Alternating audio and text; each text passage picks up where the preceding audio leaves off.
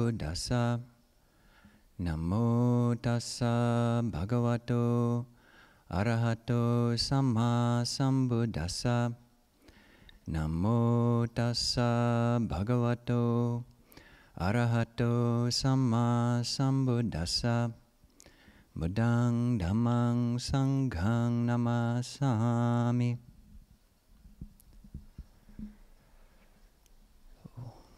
It's good to see everybody. Uh, it's also very good to see that uh, nobody immediately got up and left when we did that chant on aging, sickness, and death and separation. It's like each step is like a, you know, more just laying on the, the bricks. Um, I thought about making a joke that that was like the Buddhist Jingle Bell Rock, but uh, didn't want to mention that song before the meditation because. Uh, yeah. Um, one, one practice which is uh, interesting uh, that you can do in meditation uh, or just in daily life is tracking things back to their source, taking things back to their source. And an instance of how you could do this if you're in meditation and you're trying to stay with the breath or a, a feeling in a certain part of the body is when you notice that you're not with that anymore, uh, just actually note where are you? What are you thinking about? And how did you get there? So, okay, you might, I might be thinking about whatever lunch, and then why am I thinking about lunch? Because I had a particular smell. I smelled something, or I, I saw food, and just tracking thoughts back. And then when you get to that, just that contact point, then it can just bring awareness back to, um, yeah, back to zero or back to back to one, back to your your object. Say, oh, I just got, I just got pulled along, uh, very systematically from one thought to the next. Um, I had an interesting case of this this week. Um, mm, mm, some people who came to offer alms may have picked up on it, but uh, for some reason I couldn't quite figure out. Uh, towards the latter part of this week, I just started thinking about and found myself talking about wombs, talking about wombs and thinking about wombs and and I ended up calling my mother. She's a OBGYN, so she's professional uh, at knowing about wombs, um, certainly more than me. And uh, ended up calling her twice uh, to ask about wombs and kind of taking this back like, what? Guy, aren't you supposed to be thinking about something else? Like, not wombs? Um, and uh, yeah, it's always funny with my mom. You know, she's being a, a gynecologist. I always sometimes joke with her that, uh, you know, we've got like opposite professions. That she's involved with birth, and I'm involved with, you know, putting it into birth. So uh, that's a, a, Buddhist joke. If you don't get it, if it sounds scary, don't worry. It's it shouldn't be. Um, but yeah, trace back. What was it? Why am I thinking about wombs? And um, two streams of thought uh, from earlier in the week. Uh, one of them being this uh, ongoing book project that I'm doing. Um, it's a project uh, called Paths to Pamojja, or Paths of Gladness. And I'm tracing every instance in the Pali Canon when the Buddha talks about this whole string of causality, the causality of how from doing one thing that leads to gladness, and from gladness that leads to joy, from joy to bodily tranquility, from bodily tranquility to happiness, from happiness to samadhi or mental collectedness, to seeing things as they are, to dis- dispassion, uh, disenchantment, dispassion, and then liberation. And this sequence of nine things in one place is called the Yoniso Manasikara Mulaka Dhammas, which means those nine dhammas, those nine qualities, which are rooted in yoniso manasikara, which literally means turning the mind back to the yoni, turning the mind back to the yoni. And yoni, in English, as in Pali, it means the womb. It means the womb. Usually, this term yoniso manasikara is translated as, um, uh, say, skillful awareness, wise attention, um, but it literally means turning attention back to the womb. So I've been uh, really thinking about this, and it's been a big part of my practice. What does that mean that gladness is rooted in turning the mind back to this, this source?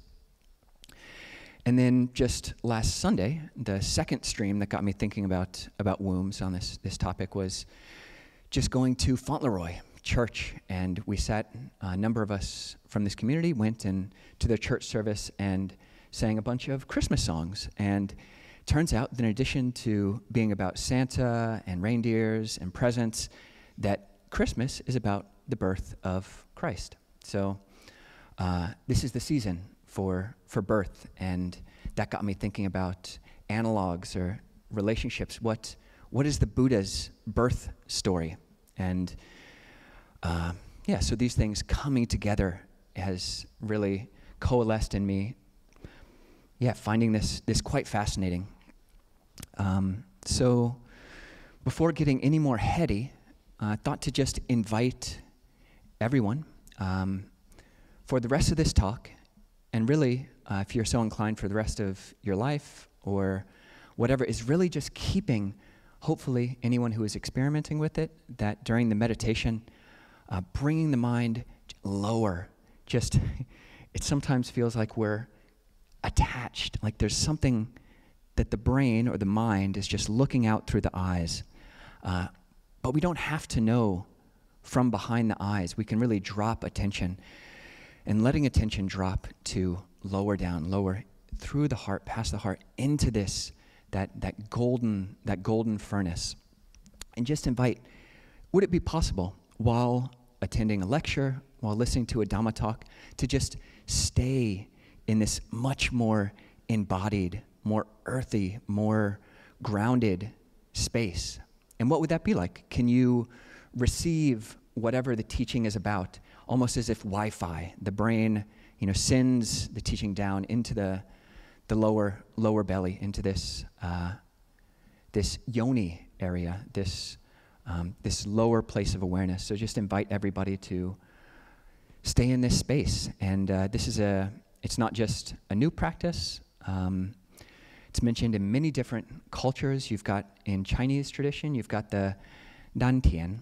Uh, this is an area in the Xia Dantian. This is the lower Dantian, or the, um, it's called the Sea of Qi, the Sea of Qi, the Sea of Qi, just bringing attention down there. Um, and knowing from this uh, elixir of life, this, this area of, of knowing. In Japanese tradition, it's called the hara. Um, in Pali, the belly, this whole region, is actually called the udara. Uh, we chant it in the 32 parts as udarayang, the contents of the, the stomachs. And this word udara is cognate. Pali is related to uh, Sanskrit, is related to Latin. They're both Proto Indo European languages. Udara, can anybody guess what udara is related to in English? Udders and the uterus, exactly. Yeah.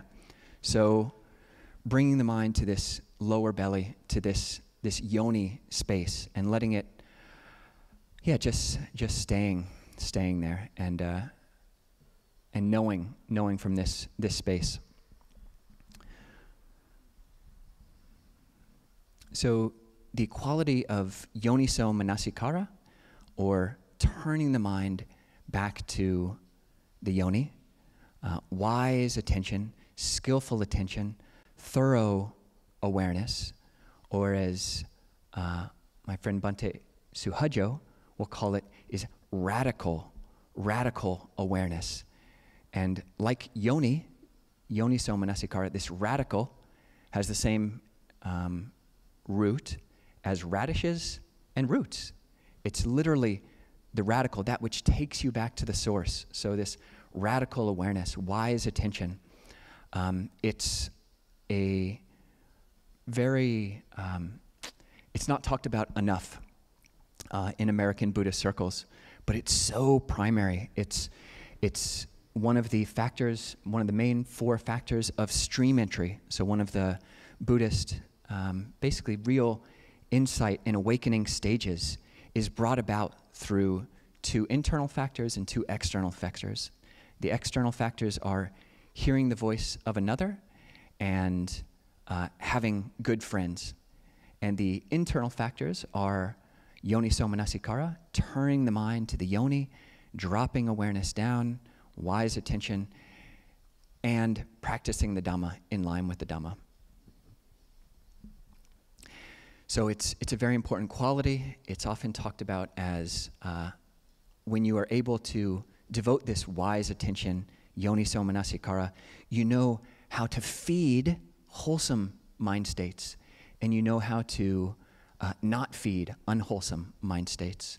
So there's a whole sutta called food, basically, nutriment, which talks about uh, turning the attention, using attention wisely, bringing attention back to this source, and knowing how to encourage mind states like mindfulness and clear comprehension and uh, rapture and the seven factors of awakening, and realizing the source of unwholesome mind states like sensual desire, um, sensual obsession, ill will, uh, restlessness, anxiety, sloth and torpor, and doubt.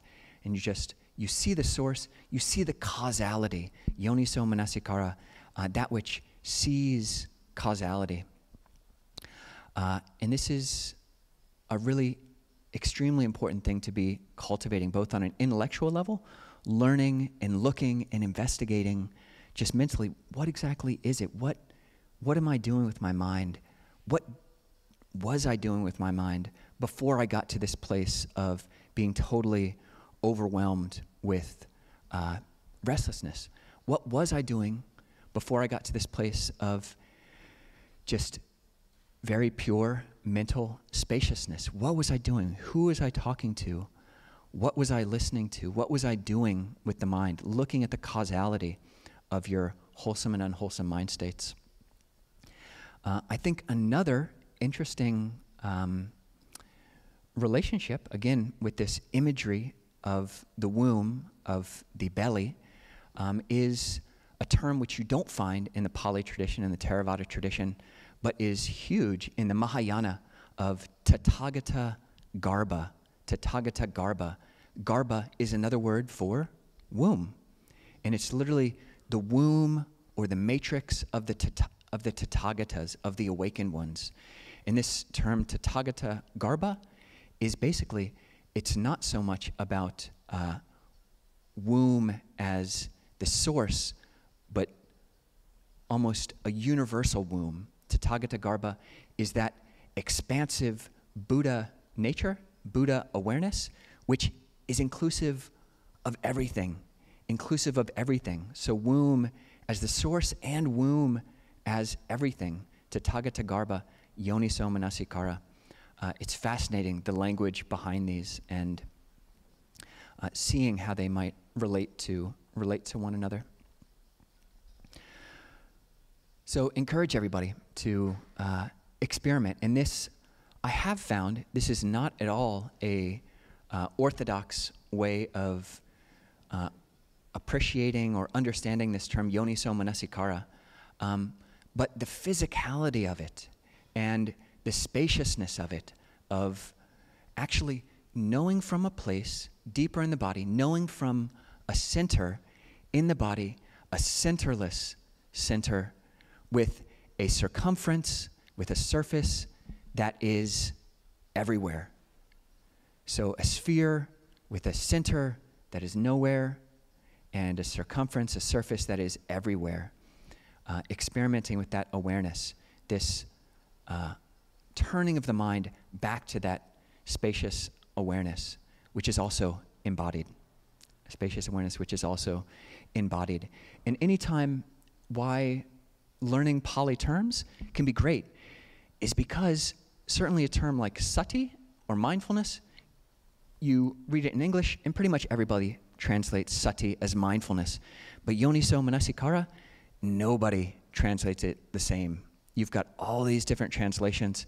There's even uh, logical knowing or reasoned appreciation of phenomena or some, you know, five, six word long explanation of what this concept means. But if you see it occurs over and over and over again, yoni yoniso manasikara, that which turns the mind back to this expansive knowing from a source, knowing from the source, knowing the causality of things.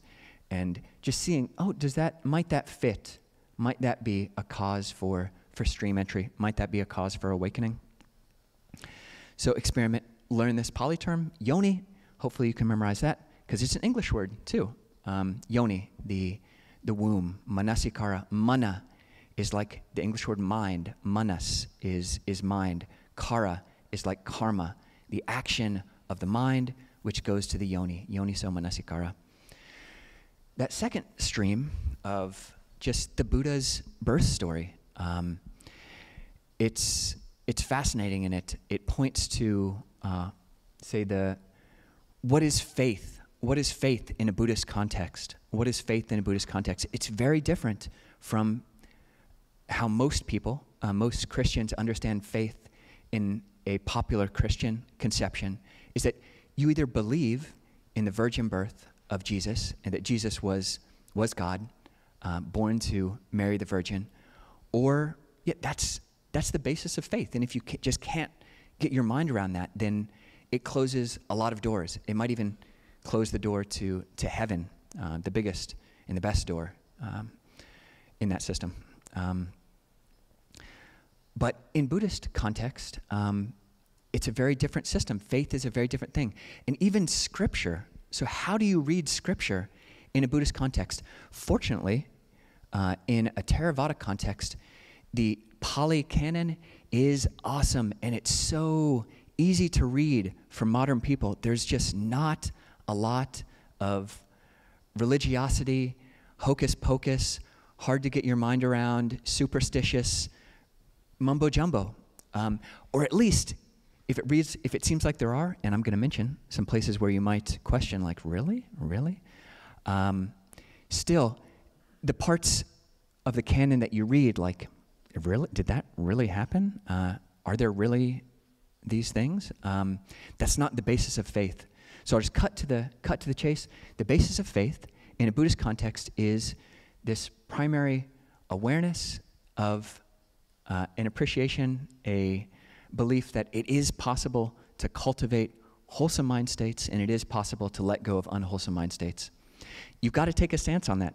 You've got to take a stance on that. You're, you're operating from a, if you don't have a position on that, that it either is possible or it's not possible, you're unconsciously operating from one of those two assumptions that you either can, you do have agency, or you do have uh, action, karma does have fruit, or it doesn't. And either life is totally random or you have some influence on the course of, uh, of your life stream.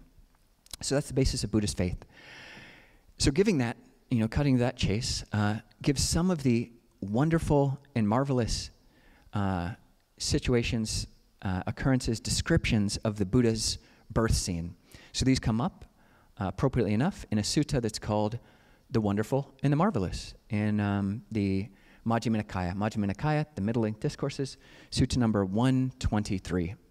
So in this discourse, um, you've got a group of monks, just, yeah, monks, you know, sitting around like we sometimes do.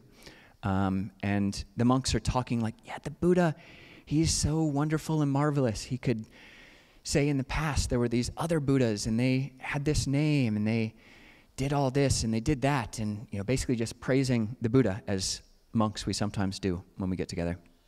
And then Ananda, the Buddha's main attendant, comes along and he hears this and uh, he says, "You're totally, you're totally right. The Buddha is wonderful and marvelous. The Buddha is, he's really, really good.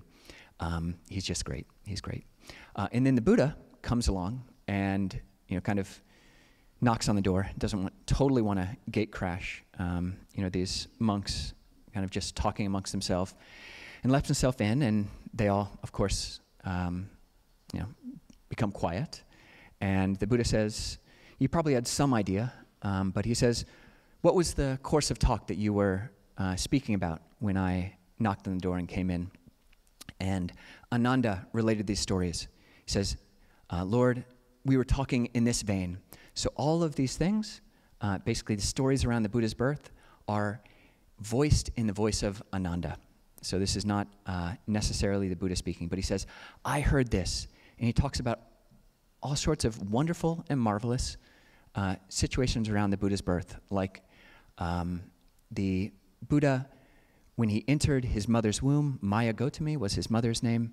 When he entered Maya Gotami's womb, she experienced no pain.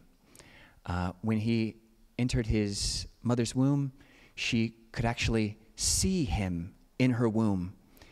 Uh, when he was born, there was a immeasurable light which went through multiple universe systems.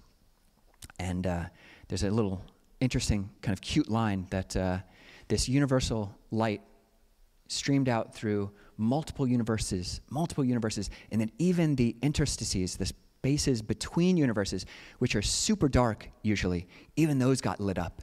And it said in the sutta that the beings there, once they could see, they look around and see there are other beings. And this, they say, in quotes, Whoa, I didn't realize there were other people here, which is uh, cute. Um, so that's another wonderful and marvelous instance that when the Buddha was born, this light just shined through multiple universes. And the Buddha, he was inside his mother's womb for 10 months exactly. And uh, when he was born, he immediately, he was born to Maya when she was standing up. And when he was born, he was caught by devas, and they presented him to his mother. And then he stood on the ground, and then he walked seven steps, and he looked in the four directions, and he put his finger up, like if you've ever seen some of these statues of a little baby Buddha like being with their finger up like this. This is the baby Buddha. When he says this, I am the foremost, I am the supreme. Uh, there this is my last birth. There will be no more coming into being amazing. Yeah, like wonderful and marvelous. Wonderful and marvelous. But what do you do? What do you do with stories like this? When you came into Buddhism because you like to meditate, you know, it's just uh, a whole nother world. You like, I left Christianity because there were all these things I couldn't get down with. So what do I do with stories like this? And so this is one of the reasons I called my mom is to uh, get some perspective on like, are these things possible? And the reason I called her twice was the first time I called her was to prepare her, just to say, Mom, I'm not going to ask you these questions tomorrow, but tomorrow I'm going to call you and I'm going to ask you some wonderful and marvelous questions that you'll think that your son has completely gone insane about. So please prepare yourself and know that your son is still trying to be rational and hasn't totally drunk the Buddhist Kool Aid and is still uh, trying to think rightly. So I prepared her. And then the next day I called and said, Mom, is it possible that a woman, you know, is there any instance of people being pregnant having um, a higher threshold for pain? And she said, actually, yeah, there are, there are studies that, that point to that. And there are studies that uh, show, there's one just from 2022, which shows that people who are pregnant, in uh, comparison to people, women who aren't pregnant, have more uh, optimism less, uh, yeah. So there's some case studies, which my mom is uh, into. I like as well. Scientific studies, science, great. Mom, um, I like it. Is it possible that someone could be inside a their mother's womb for 10 months? And she said, yeah, totally within normal limits. We say a woman, you know, keeps a baby usually for 37 to 42 weeks. 40 weeks, 10 months, totally within normal limits. So still in my mom's good books. Um, is it possible that uh, a woman, when they gave birth, uh, could do it standing up? And she said, Yeah, you know, usually we don't do that, but it's possible. It could definitely happen. And so I'm still okay with my mom. And then, is it possible, mom, that a baby, once they're born, could stand up, you know, and walk seven steps? She's like, no, no, Kovilo, it's just not going to happen. I think we've been on the phone for like 20 minutes by then, and she's kind of getting, you know, fed up. And she, okay, no, not going to happen. And then I still had the momentum. So what about, is it possible they could hold their finger up and say, this is my last birth, and the best of all being. And yeah, that was pretty much, I think the phone call ended like two and a half minutes after that. But um, she still loves me. Um, I still love my mom. But fortunately, we don't have to believe these things. Is it possible? Is it possible? Some of these things are within normal limits, some of them outside of normal limits. Is it possible that uh, they happened? Maybe. I did watch a YouTube video about uh, a little baby who said, uh, yeah, YouTube video of a four day old who says, hello. you know, this is a bit more of a stretch. Um, I did I hear stories in Thailand about this is actually from Ajahn Pasanno talking about a, a, student of his, and he says that she heard that after when she had a baby, this her friend, when the when she had a baby, the baby as soon as it came out said, "Oh no, N- not again." In Thai, in Thai. Oh, siadai. Something like that. Who knows? Is it possible? Is it also possible that these stories have been elaborated on by, in the words of uh, you know, a Western scholar, monkish gloss? Is it possible that monks added this in later because they wanted people to think that their Buddha was a god? Totally, totally possible. But on one level, you can, it's very easy. Uh, I feel very fortunate, and I think many Western monks and people who come to Buddhism because we come because we see the benefits of Buddhism, of meditation, of these mind trainings on the mind. Training in bringing the, back, the mind back to a simple object, learning how to direct awareness, learning the benefits of generosity and keeping precepts. And you say, oh, there is a benefit, there is truth, absolute truth to all these things. I see them in my life. Uh, these other things, yeah, I can say maybe, maybe not. Um, and it doesn't matter that much because I'm starting to have this faith that there is fruit and result to good and bad action. It is possible to abandon unwholesome actions, it is possible to cultivate wholesome actions. So you can read discourses like that. If you come up to something in the text that talk about devas, these heavenly realms, and you don't have to automatically think, if the, even if there's a knee jerk reaction like, nope, fake, you can say, that's totally fine, totally fine first reaction. Um, for myself, it's kind of like it, I don't have this knee jerk reaction.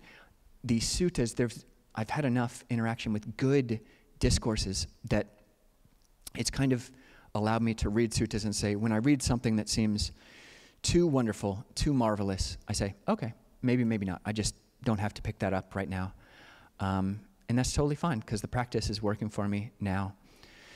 So yeah, just encourage people to um, approach faith, the faith in awakening, the faith in Buddha, this, this knowing. Uh, that's, that's the womb of faith in, uh, in Buddhism, is just awareness, awareness itself, and just it is possible to, uh, to cultivate the mind. And learning about yoniso manasikara, the mind which turns back to the yoni the mind which is Tathagata garbha, which is the uh, full awareness of everything, no limits. And yeah, just encourage people to experiment with dropping your awareness down uh, lower than just uh, lower than just the brain, because there's a lot of wisdom uh, to be had there. So leave the talk there and open things up to questions.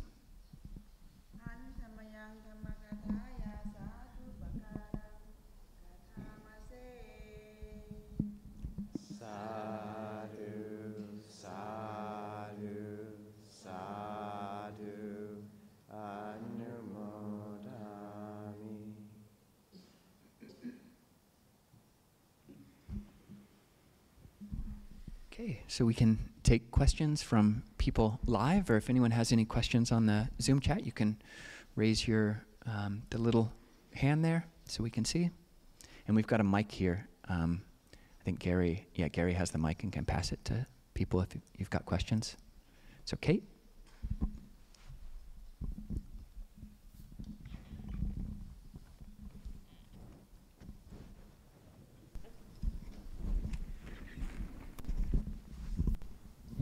Namaskaran, Ajahn.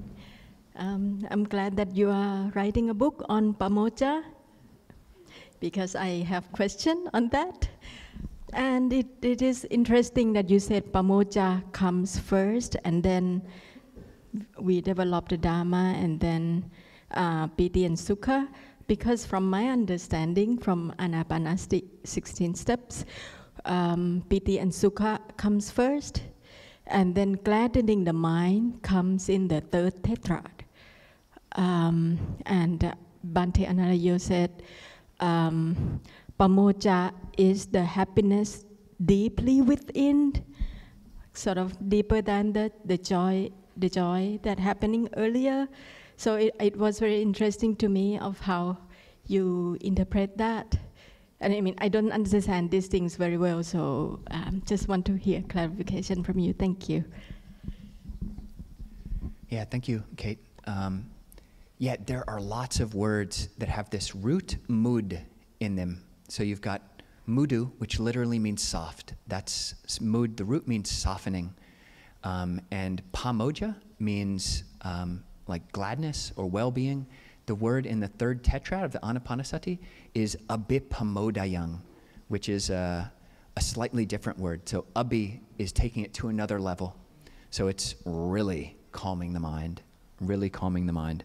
Um, so different words also. Anumodana, when we say that, that also comes from mudu. It's leaning your softness into others, appreciating other people's goodness. Or mudita, this um, delighting in other people's goodness. So in this string that I'm talking about, uh, pamojja always comes pamojang, pamuditasa piti jayati. So from, for one who experiences pamojja, piti arises. And it comes up like again and again, like 200 times. And I'm put, so what this, the book will do is pull all of these disparate discourses into one place.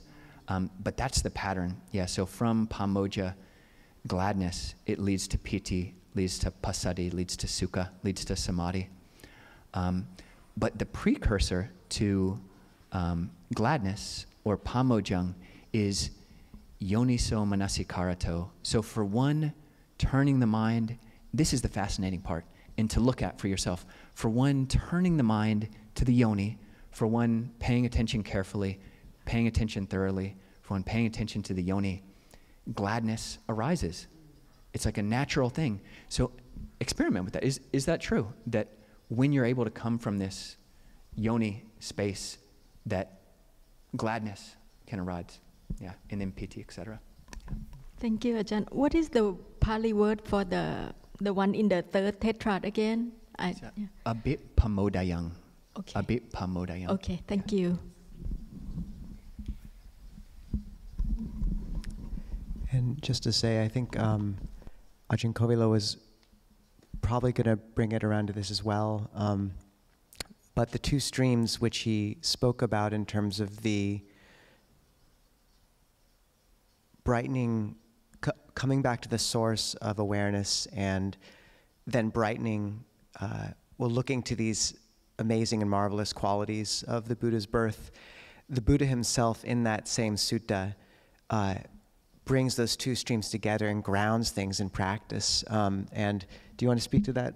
Okay, uh, it's so basically Venerable Ananda's regaling the Buddha with his own tale of marvelous qualities, and then at the end, the Buddha says, "There's one other amazing and marvelous quality of the Tathagata, Venerable Ananda," uh, and Venerable Ananda says, "What is that, Lord?" And he says, "The Tathagata knows." Feelings as they arise, as they remain, and as they pass away. He knows perceptions as they arise, as they remain, and as they pass away. He knows thoughts as they arise, as they remain, as they pass away. That's the, that's the Buddha's ending of the whole line of wonderful and marvelous qualities is pointing back to just this womb of attention that holds all experience. And it's to look back on texts that are 2,500 years old and see a teacher with such restraint, where his disciples are, you know, and yes, these may be hagiographical. There's certainly places in the suttas with later interpolation, etc. Like Ajahn Kovilo says, we don't have to believe in this. But to watch a teacher rein it all back to the handful of leaves and say, just know, you know, attention in this moment um, is, I mean, what what a body of teachings we have in that. So I don't know what your mom said about that part completely. I'll have to call her again. Yeah. Yeah, but total mic drop on the, the Buddha's part. He just, okay, maybe, maybe so, but boom. Yeah.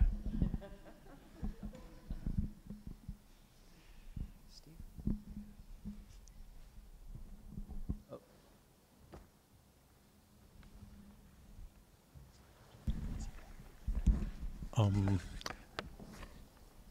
let's see, I'm sort of on thin ice here, but I usually am. Um, it, it, it's part of what you were dancing through was sort of what's apparent and what's not apparent or what may be or something. And I was wondering, in terms of, um, in sort of on the path, two things sometimes happen. One thing is that crazy stuff emerges in our minds during practice and is like, where'd that come from? You know, that whole phenomena. And then secondly, crazy stuff happens in people's lives. Like, why is this happening? You know, and that whole thing, trying to make sense of it. And so in terms of rebirth, uh, I don't know, but I'm sort of like inclined. But what I guess what I'm asking is, I sometimes use um, like almost the possibility of rebirth or the view of rebirth as a way to sort through those things, even though I don't know it's true. But it's a way to sort through those things, like maybe it comes from some other thing, and just see how that helps sort through it, even though I'm not convinced it's true. You know what I mean? Just as a tool. And I wonder if you could comment on that, because I've, I've sort of danced through that, and I'd like to hear any feedback, if that makes sense. That's great. I mean, what else can you do? You can't force yourself to believe anything. So, yeah, using it as a a working hypothesis or a, a possibility is great. One of the reasons that I suggested that we chant that uh, Buddhist Jingle Bell Rock is because one of the lines in there is Kamma Sakomi Kamma Dayado Kamma Yoni. Amhi Kamma Yoni, which is translated in that chant as I am born from my actions. But it literally means I am, I have Kamma as my yoni. I have Kamma as my, my womb. Kamma is what leads to birth. Kamma comes from this yoni. Kamma comes from and is, uh, yeah, there's this relationship. And the, the grammar and syntax actually, um, it can be read both ways. That, uh, yeah, Kamma gives rise to yoni, so Kamma gives rise to birth and rebirth. And that's when you follow out the implications of um, Kamma in this life, uh, then rebirth is suggested. But it can also be that um, kamma has birth as its yoni. Or, yeah, so we have all these past conditions. I mean, aging, sickness, death, which we talked about, is all precursed by birth and possibly previous births. So, um, touching on the subject. Oh, that's it.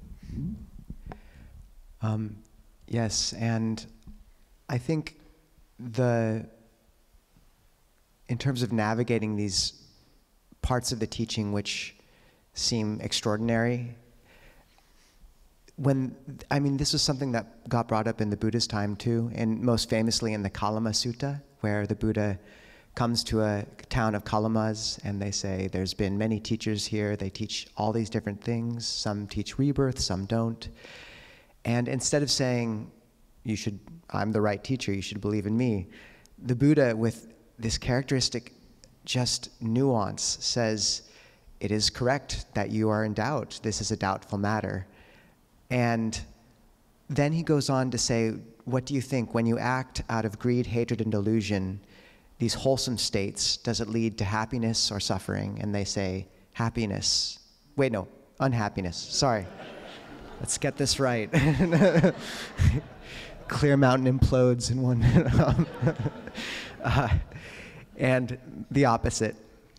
And, and that's very useful, and that's what's quoted often with, like, you know, feel how these actions, like Ajahn Kovilo was saying, of, of working with these teachings, give you faith over time in your own practice and in the teachings.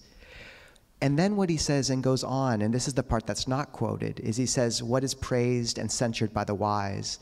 So that's, we don't always have a good internal compass, and we know that. So also referencing what do the wise people say in our lives and, and using that to steer by. And then this third part very often goes, gets looked over, and that's then he tells them to develop loving kindness. And there's a simplicity to the mind state of love and metta, which is so it's like a mirror, it's so smooth that if you stay in that place and ask yourself a question about life from there, it, there's this clarity that emerges. And then finally, he says basically, this is the double, uh, I believe it's called the double bet, which means you can't for sure say that there is no rebirth. Occam's razor doesn't say we have what we see and there's nothing else. Occam's razor says there is what we see, period. As to what else there is, who knows? So, what he's saying is if there is no rebirth, then act well and you'll live a beautiful life. If there is rebirth, which you can't for sure say there's not, then you'll go to a good place of happiness. And there's no downside. Like you said, if you use that as a lens, all it makes you do is take every one of your actions with utmost seriousness. And that's, that just leads to a beauty in the heart that is uh, untouchable. Um, my dad used to tell me that um, there's a philosopher he knew who said you should live as if today was the last day of your life and as if you should you would live forever. And I've always thought rebirth held like that gives a strange vision of that somewhat. Yeah, thank you. Maybe I'll just say one other thing is, is um, sometimes when we're caught in angst, it seems like we get caught in a polarized understanding of what we think it is or isn't. And I've developed, I, maybe not faith, confidence. I like the word confidence. I developed confidence that if we keep in practice, like boundlessly opening our minds, leaning into whatever it is without any um, definitions, then we thought it was A and B, but it turns out it's, you know, H. Some whole new understanding pops up that, and that's part of the beauty of the practice, is it, is it lets things sort out in ways that we wouldn't see if we thought of it logically or, or, or, or within the limited perspective that we now have. So it kind of all fits in with what you were just saying, in a way. Just to note, there's an analogy for that type of insight in the suttas where the Buddha was caught in the binary of pleasure in the world versus pain and asceticism. And then many of you'll know this moment when he thinks back to when he was a child. He's sort of tortured himself to starvation. And he thinks back to sitting under this rose apple tree and this moment where he slips into first jhana as a kid. And just this voice arises. And it, the first person pronoun is absent from that verse. It's not I thought, it's knowledge. Uh, the question arose Is this the path to, am I afraid of this pleasure? And the answer arose I am not afraid of that pleasure is this the path to awakening? This is the path to awakening. So, just how in those deeper moments when the binaries let go of something else comes from an impersonal place, and how it came from his childhood. There's something about that original tracing back to near the yoni that has that wisdom in it. I think there's a lot there.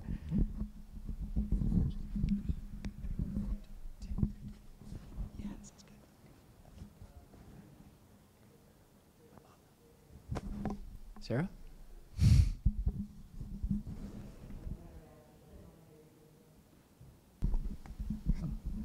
Yeah, I had a little question. You were talking about etymology and uh, mudu, softening.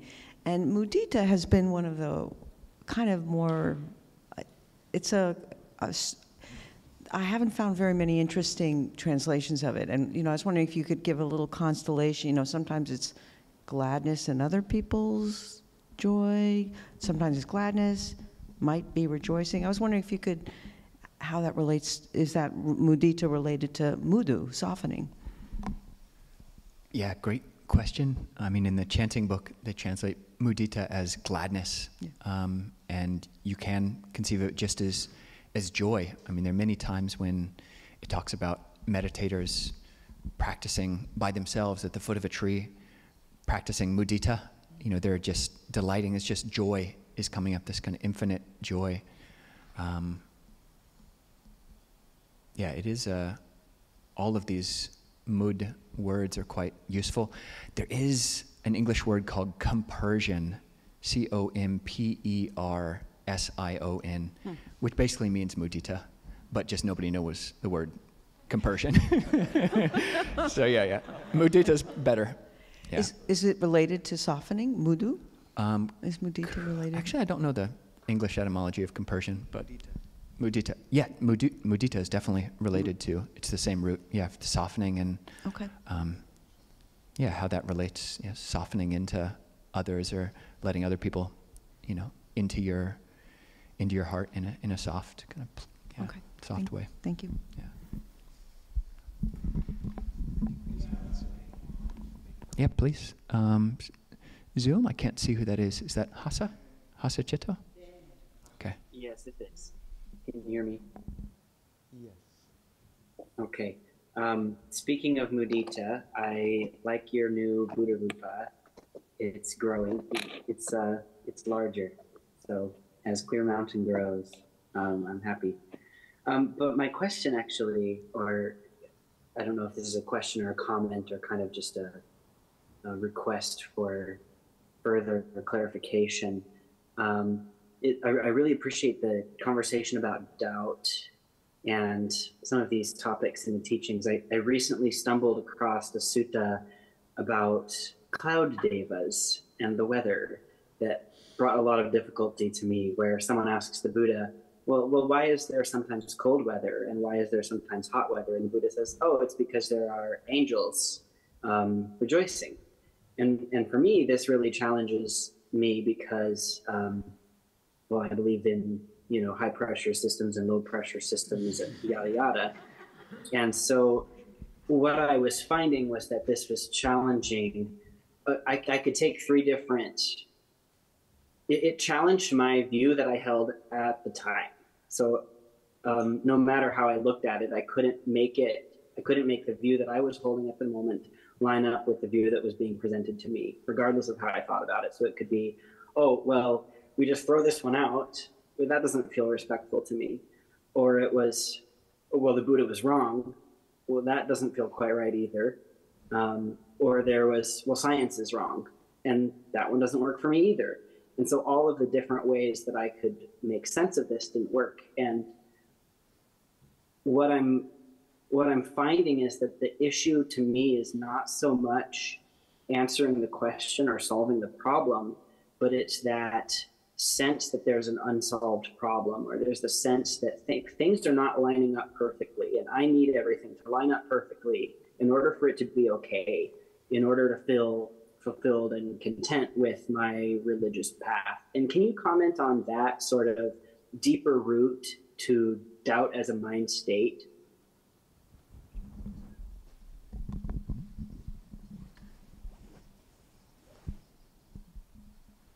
Yeah, doubt, the fifth uh, hindrance is, um, yeah, it can just, there's no way to doubt yourself out of doubt. Um, it just has this um, uh, self reinforcing quality to it. It's like an echo chamber that the more you kind of allow yourself to doubt, um, then the more it takes over.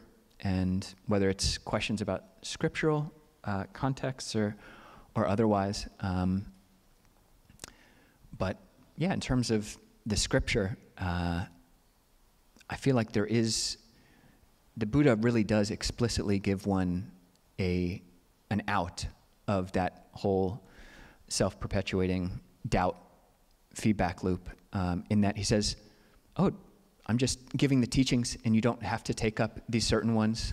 Um, so yeah, not every situation in life has, you know, an enlightened Buddha giving you clear out that, yeah, you just don't have to, you don't have to believe this. It's not really essential. Um, yeah, pretty much every other instance of doubt really doesn't uh, have that escape. So you have to, yeah, see if you can disengage in other ways. And um, I do find that doubt is a very ethereal and a very, um, it's a very heady kind of, it, it'll give you a headache if you indulge in it too much. Um, if you don't learn the, the tools to getting around it. But coming back into the body really can be a, a skillful way. Actually, I want to think about this, and it may, is it this way? Is it not this way? Uh, it probably is this way, but then it says somewhere else that it's that way. And, and actually, just um, I'm going to come back to uh, the mind in the heart or in the body. Um, so that's that's one technique. Did that uh, address all and that a bit, Hasa? Yes, thank you. And and um, again, the the beautiful Buddha Rupa. Yes, yes. I, maybe you'll tell us where it came from. Maybe you won't. It was in the attic, and someone gave it to me. No, no, I remember. This is from, sorry. This, when I left Thailand, I asked Luang Por Anan, my teacher, if we could take a Buddha image, and he let us uh, take this one from Thailand. And I wanted it for Clear Mountain from the beginning, so he blessed it. Okay. We do have to wrap stuff up now. So maybe we could read the blessing braid.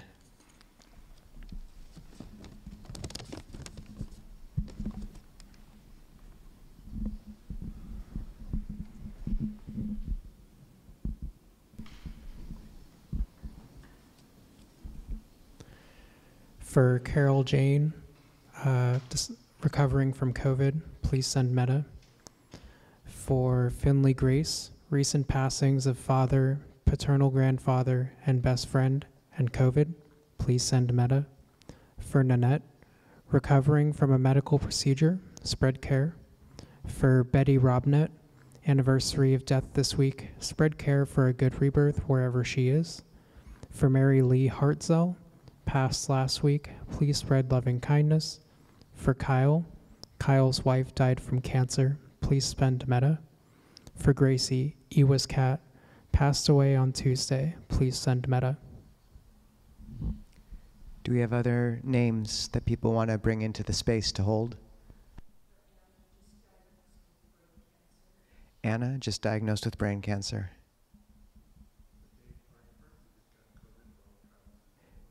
Dave Arterburn, COVID, traveling, safe recovery. Jeff mother, Jeff's mother, Bonnie, who just died last week. John's father, who died, I think, a month ago. David, who passed away. Who? Tamira, who's recovering from COVID. Hasa who's recovering from uh, some physical problems as well. Who? Marisha Kate. John, John Church, terminal cancer. Luann died of cancer.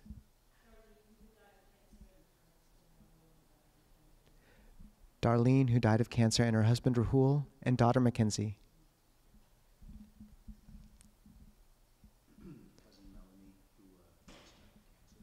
Melanie, who just died of cancer. Gabe, too.